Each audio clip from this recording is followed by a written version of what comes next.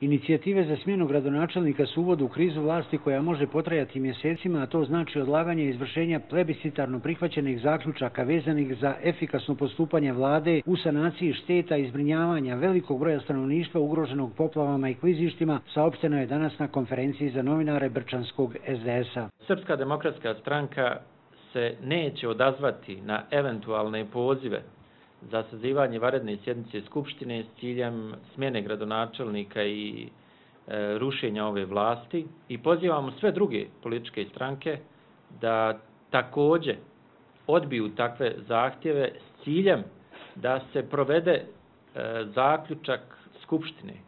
jednoglasan zaključak Skupštine koji, e, kojim se garantuje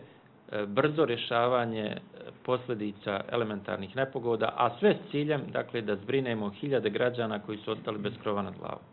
U BiH nema političke saglasnosti oko ratnih dešavanja, kažu u SDS-u i posjećaju da su primjeri sličnih postupanja izabranih predstavnika sva tri naroda bili i ostaće prisutni. Baviti se pokušajem smjene gradonačelnika i promjenom vlasti u situaciji kada hiljade ljudi svaki dan zavisi od konzervi i čeka krov nad glavom, za ovu političku stranku nije prihvatljivo. Naš stav je potpuno jasan to nije razlog za smjenu.